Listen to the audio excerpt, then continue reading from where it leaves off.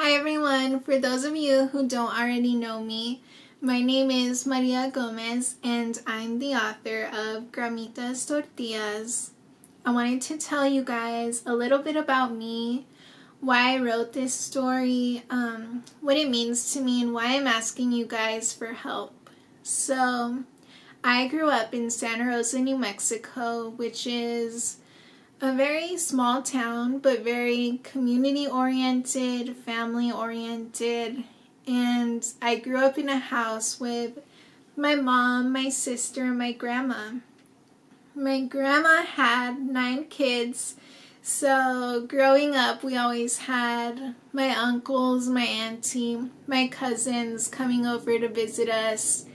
And my grandma always made everybody tortillas she was definitely the center of the family. She was so kind, so loving, so comforting. And I feel like her tortillas were really an extension of her. Um, when I think of home, I think of all of us being together, just eating tortillas. Something so simple but so meaningful.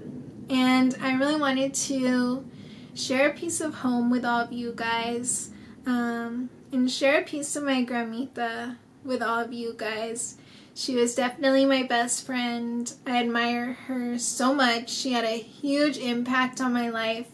And I know I'm not the only person that felt that way. So I also want to thank Plot Duckies for giving me the opportunity to publish this story for helping me make it happen. And I want to thank you guys in advance for supporting me. And I cannot wait to share this with all of you. Um, I hope it makes you all smile.